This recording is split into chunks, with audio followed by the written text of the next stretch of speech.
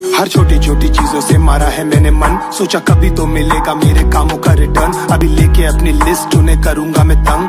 सभी का तो हो रहा है, मेरा भी लगे टर्न न ज़्यादा बड़े सपने, न ज़्यादा बड़े शौक। बस छोटी छोटी ख्वाहिशें और छोटे छोटे ख्वाब। मम्मी की शक्ल मुझे करनी है रिकॉर्ड जब गिरते पड़ते वापस से आएगा हैंडकॉक मुट्ठी में दबा के रखा है मैंने पलक को। आसमां में जाते देखा टूटते बलब को। मांगू कैसे अच्छा नहीं है मेरा तलब कभी ना कभी बदलेगा